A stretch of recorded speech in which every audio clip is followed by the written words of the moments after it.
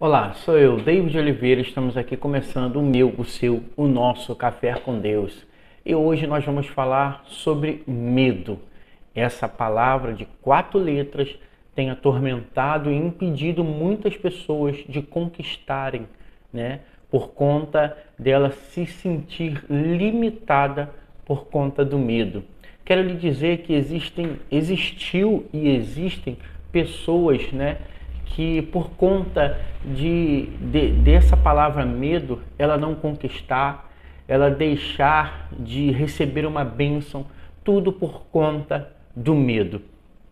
O medo, por um lado, ele é bom, que ele impõe limites e você impede de se machucar, de se ferir, mas também por conta do medo, você deixa de conquistar, você deixa de receber a bênção que Deus já preparou para você. Existiam profetas, existiam homens de Deus que por conta do medo se entregaram, que por conta do medo, né, não conquistaram. Quando nós colocamos o medo nas mãos de Deus, quando nós colocamos, entregamos este medo ao Senhor Jesus, ele nos dá condição para que nós venhamos vencer. Eu vou lhe mostrar é, alguns homens de Deus que colocaram né, colocaram a sua vida, colocaram o seu medo nas mãos de Deus. Acompanha comigo aqui, dá licença. Eu, eu, eu peguei uma palavra aqui, ó. Eu vou te mostrar, ó. Olha só. Aqui no livro de Isaías diz assim, ó. Por isso, não tema, pois estou com você.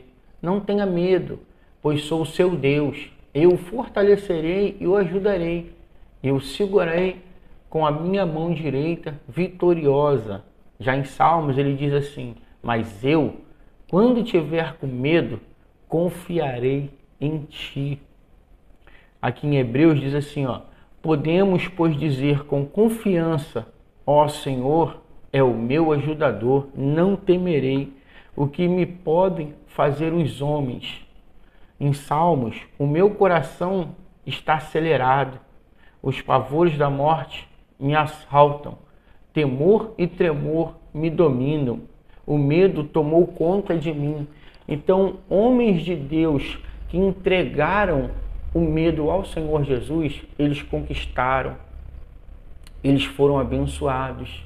E já tiveram aqueles homens que deixaram o medo tomar conta dele, que deixaram o medo fazer parte é, que deixaram medo colocar um destino na vida dele. Então, meu amigo, se você tem um medo, medo extremo, que tem impedido você de vencer, de conquistar, de dominar, busque no Senhor Jesus.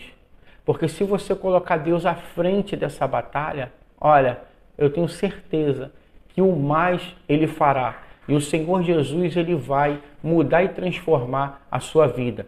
Então, olha, o Café com Deus hoje deixa bem claro para você: não tenha medo. Entregue o teu medo ao Senhor Jesus, que o mais ele fará. Que Deus te abençoe, um forte abraço e até amanhã.